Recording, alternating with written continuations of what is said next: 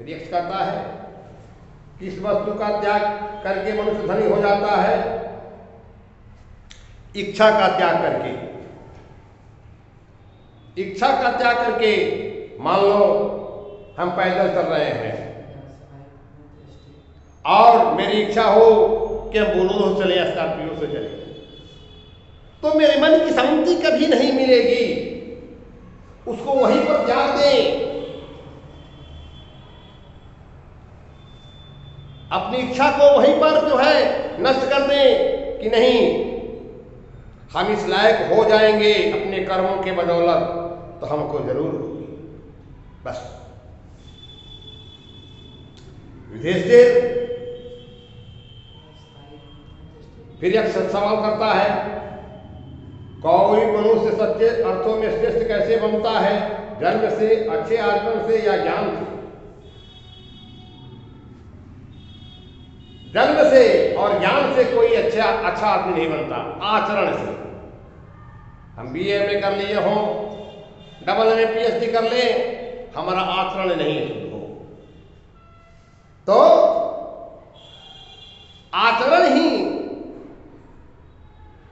सबसे महान है। यक्ष के इस सवाल का भी जवाब मिल जाता है। फिर एक सवाल करता है संसार का सबसे बड़ा आश्चर्य क्या है? संसार से में सबसे बड़ा आश्चर्य है, रोज हज़ारों लाखों लोगों की, लोगों को मौत के मुँह में जाना। और फिर भी लोगों को मौत से डरना, यही दुनिया का सबसे बड़ा आश्चर्य है। हर आदमी जानता है, मेरी एक दिन मौत होगी। हर आदमी कि मेरे साथ मेरा धर्म ही जाएगा। लेकिन फिर भी जो है, लोभ बस, लालच बस, लोग अधर्म करते हैं। यही दुनिया का सबसे बड़ा आश्चर्य है। इस प्रकार यक्ष ने और भी कई प्रश्न पूछे, युधिष्ठिर ने उन सबके बुद्धिमत्तापूर्ण उत्तर दिए। अंत में यक्ष ने युधिष्ठिर से कहा युधिष्ठिर मैं तुम्हारे भाइयों में से किसी एक को पुनर्जीवित कर सकता हूँ? बोलो, तुम अपने किस भाई को पुनर्जीवित कराना चाहते हो? इस तरह से बहुतों सवाल जो है। यक्ष ने युधिष्ठिर से किया, और युधिष्ठिर महाराज, सभी प्रश्नों का सकुशल उत्तर दी। युधिष्ठिर के उत्तर उत्तर से यक्ष महाराज, बहुत खुशी और उन्होंने कहा, बोलो युधिष्ठिर, तुम अपने चारों भाइयों में से एक को पुनः जीवित कराओ। बोलो, किसे जीवित कराना चाहते हो? जिसे तुम कहोगे, मैं उसे ही जीवित कर दूँगा। यक्ष का यह प्रश्न सुनकर युधिष्ठिर थोड़ी देर सोचते रहे। फिर भी बोले, हे यक्ष भाइयों में से केवल एक को ही पुनः जीवित करना करना चाहते हैं तो नकुल को पुनः जीवित कर दीजिए।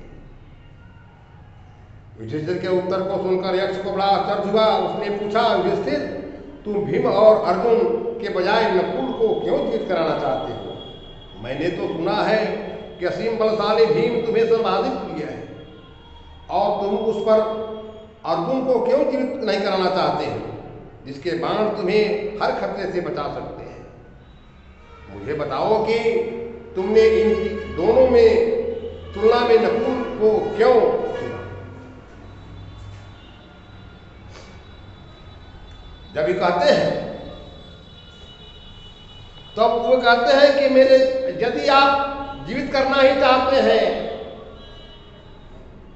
या तो चारों भाइयों को जीवित कर दीजिए और नहीं तो एक को जीवित करना चाहते हैं तो नकुल को जीवित कर दीजिए। जब नकुल की बात आती है तो यक्ष जो है आश्चर्य पड़ जाता है, चकित हो जाता है। और फिर जो है युधिष्ठिर से पूछता है, भीम, तुम्हारा सगा भाती है, बलशाली है। अर्जुन अपने बाणों से हर आने वाली खतरा से आपको बचाता है। फिर भी तुम भीम और अर्जुन का जीवन का दान नहीं मांगा। क्यों?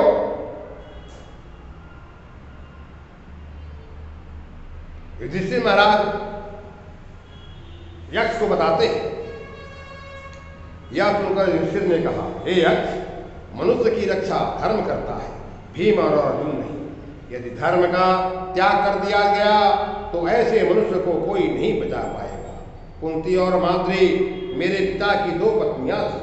कुंती का एक पुत्र, मैं जीवित अब न्याय की मांग है कि मेरी दूसरी माँ माद्री का भी एक पुत्र जीवित रहे। इसलिए मैं आपसे प्रार्थना कर रहा हूँ कि नकुल को पुनः जीवित कर दिया जाए। युधिष्ठिर की निष्पक्षता ईमानदारी को देखकर यक्ष बहुत प्रसन्न हुआ। उसने युधिष्ठिर के सभी भाइयों को पुनः जीवित कर दिया। जब यक्ष ने कहा कि भीम और अर्जुन को क्यों नहीं पुनः जीवित कराते हो? तो युधिष्ठिर महाराज कहते हैं कि जानते हैं, मेरे पिता की दो पत्नियाँ थी, कुंती और माद्री माद्री के नकुल ऐसे आप एक ही पुत्र पुत्र को जीवित करना चाहते हैं तो कुंती का पुत्र तो मैं जीवित हूँ। और माद्री का भी एक पुत्र जीवित होगा, यही न्याय करती है। जब ये बात को यक्ष सुनता है तो कहता है कि, हे युधिष्ठिर मैं आपके धर्म, अनुचित बात धर्म उचित बातों को सुनकर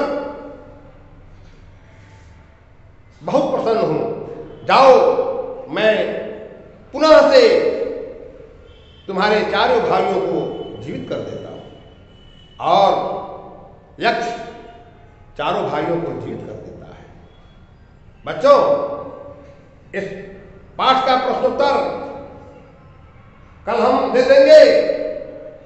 इस पाठ को आप लोग फिर ध्यान से पढ़िएगा। थैंक्स, धन्यवाद।